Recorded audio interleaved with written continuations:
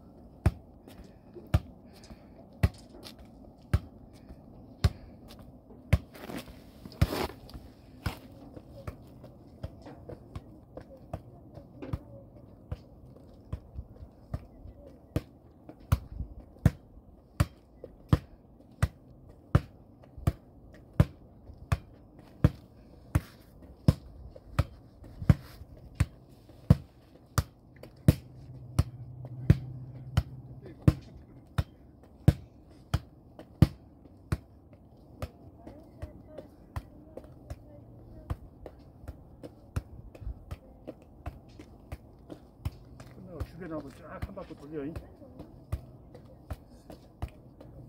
20초 쫙 돌려.